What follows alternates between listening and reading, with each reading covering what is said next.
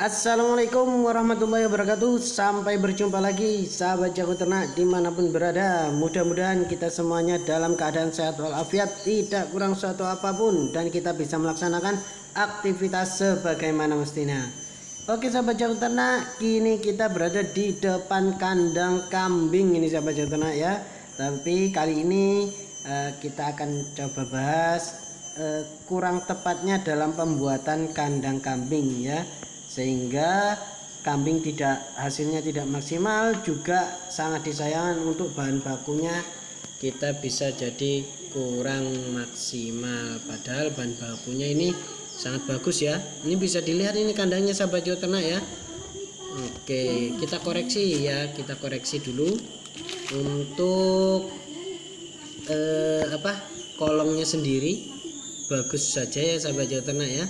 Jadi eh, tinggi dia model-model panggung gitu ya sahabat Tengah jadi ini modelnya model panggung. Nah, jadi aman-aman saja sahabat Tengah ya. Nah ini untuk panggung. Ini udah oke. Okay. eh, Jawa Tengah juga setuju model-model seperti ini sahabat Tengah ya. Nah ini ada ada kolongnya. Jadi kohenya itu di bawah. Nah kemudian di sini juga ada tangganya ini sahabat Tengah ya nah ini tangga untuk kambing naik ke atas.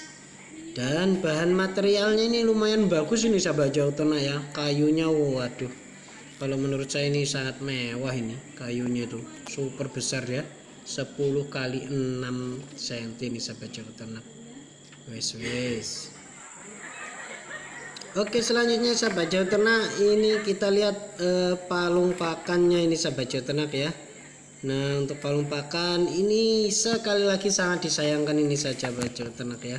Jadi eh, apa lubang untuk kepala kambing itu kurang besar menurut saya saya baca ternak ya.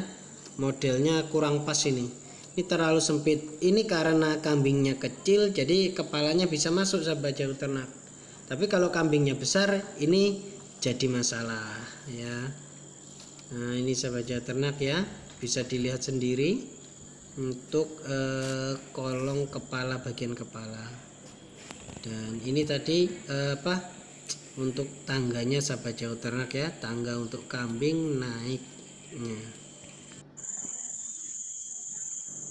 Nah ini sahabat jauh ternak untuk kayunya sendiri nih ukuran apa 8 nih ya sahabat jauh ternak. 88 jadi besar banget. Nah ini nah ini yang saya maksud itu kayunya bagus-bagus nih sahabat jawa ternak ya. Nah, bagus sekali ini. Nah ini bagus sekali ya sahabat jawa ternak untuk kayu dasarnya. Hanya disayangkan ini sahabat jawa ternak untuk lantainya ya. Nah tapi ini nah tiang-tiangnya ini udah oke nih sahabat ternak ya. Nah, kayunya ini. Nah ini mm, baru disingso ini sahabat jawa ternak ya.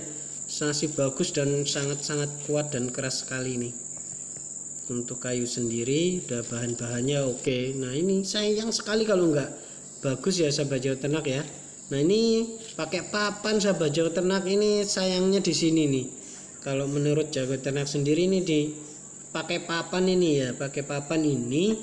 Jadi eh, lubangnya kalau seperti ini kan ada lubang besar. Jadi terganggu ini kurang pas sih sebenarnya. Yang pas nih kalau referensi jawa ternak ya kayu kayu kayu 53 itu ya sahabat ternak nah itu lihat nih hmm, kalau dinding nggak apa-apa papan sahabat ternak nah ini untuk lantai itu bisa dilihat. Sangat kotor ya sahabat ternak ya ini tumpukan-tumpukan alah cempenya ini. Itu eh, apa tumpukan kotorannya itu bisa di dalam sahabat ternak itu. Nah itu bikin kambing gatelan itu sahabat ternak nah ini kurang pasnya kalau menurut jago ternak ya jadi eh, karena papan terlalu lebar ya jadi untuk sela-sela kotoran kambing itu tidak bisa langsung gugur jatuh. Ke sahabat jatuh dan ini lagi untuk posisi atap kurang tinggi. Nah itu sahabat jauh ternak ya atap. Nah ini posisi atap ini kurang tinggi sahabat jauh ternak kalau dilihat dari depan ini ya jadi kambing kalau jantan besar itu udah pasti disundul itu sahabat jono dan ambrol itu ya. Ambrol sangat ambrol nih. Nah ini bahan materialnya bagus sahabat jawa ternak cuma eh, cara eh, cara pemasangannya aja ini ya. Untuk seng sendiri udah oke nggak masalah pakai multi rope ya. Nah untuk ini udah nggak ada gangguan dari apa semak-semak karena itu bisa menimbulkan nyamuk eh, perkembangan kambing kurang. Jadi ini atapnya kurang tinggi sahabat jago ternak. Kalau menurut jago ternak sendiri ini kurang tinggi. Oke ya. Jadi Oke itu sahabat jago ternak itu saja ya untuk review pada hari ini ya. Dan mudah-mudahan jadi pembelajaran dan bermanfaat untuk kita semuanya.